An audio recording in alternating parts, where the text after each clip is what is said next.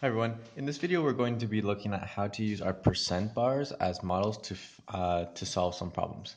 Uh, we're going to look at three different problems, so this video is going to be a little bit long.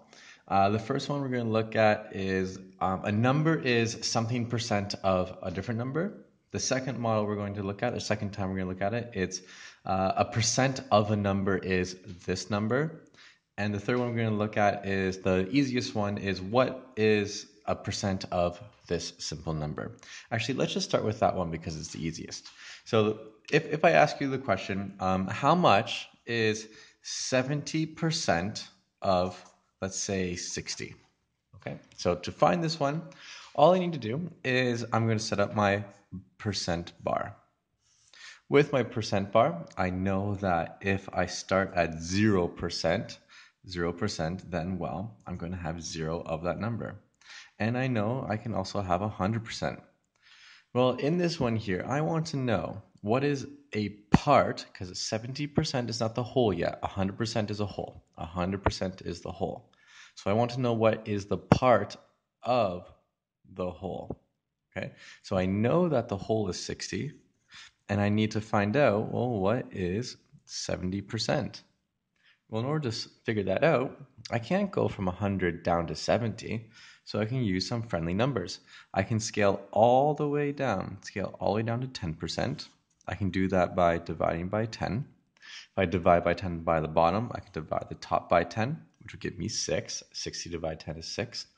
And then from 10%, I can scale it up to 70% by multiplying it by uh, 7. Multiply by 7. If I multiply the bottom by 7, I have to multiply the top by 7.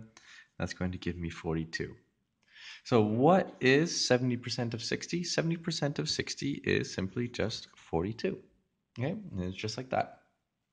The second one we're going to look at, the second one, um, let's do 60% of a number is 19. Okay, let's, let's do that one. So um, let's just flip this over. Let's pretend 60% of a number, let's just say a, a number is 90. Okay.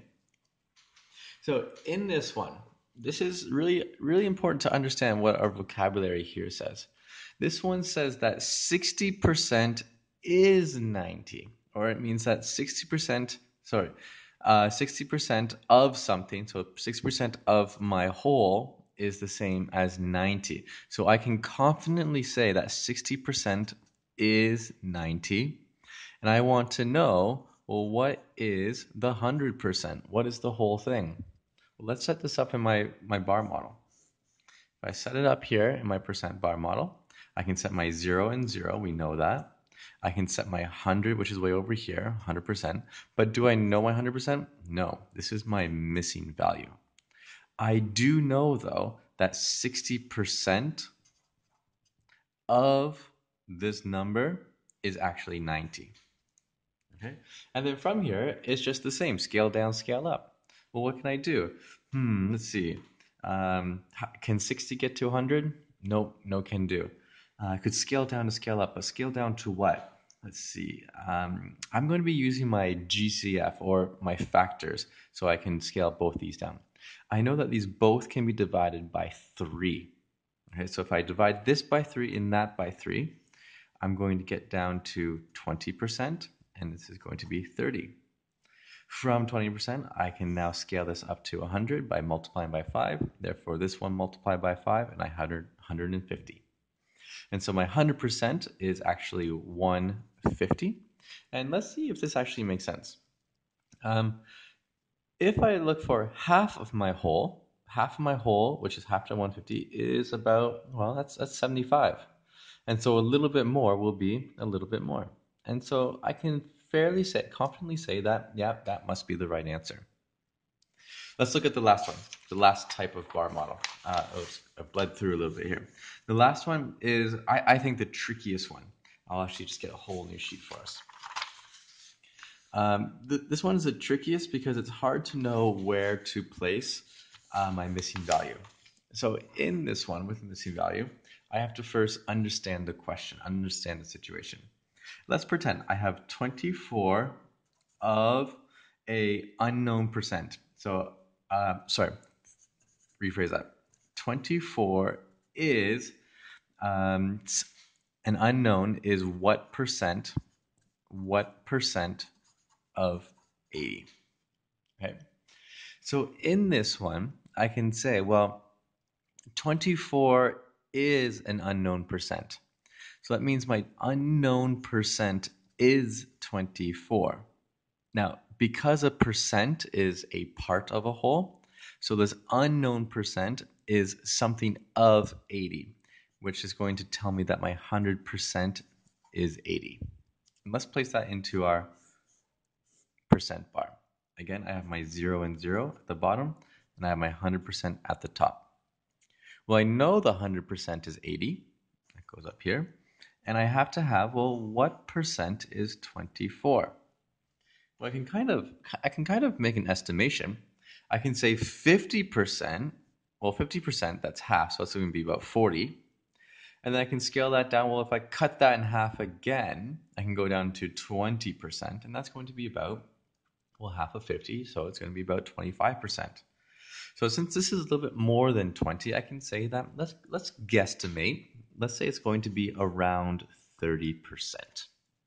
All right, let's actually figure this out though. I need to be able to scale this 80 down to something to scale it back up to 24. And that's the hard part. So let's think about this. I can scale down to 40. That's going to be 50%. I can scale this down again. Let's scale it down to, um, let's scale it down all the way down to 4. And 4 is going to be 5% because I just divide by 10, divide by 10. And what do I know about 4? I know I can do 4 times 6 to get to 24. Therefore, down here, I'm going to have to do 5 times 6. And oh my goodness, look at that. 5 times 6 is 30. And what was my estimate? 30%. So here we go. 24 is what percent of 80? Well, 24 is actually 30% of 80. And if we go back to our model here, we know half is 40. Half of a half is a quarter which would be over here. So 20 is about 25, so a little bit more is going to be a little bit more. And there we have it. Uh, sorry for a little bit longer video. This here is just using our bar, um, our percent bar to scale down, scale up to find my three different types of uh, questions here. Uh, join me in the next one where I'm going to be joining some multiplicative and additive thinking in order to find some more difficult percentages. I'll see you then.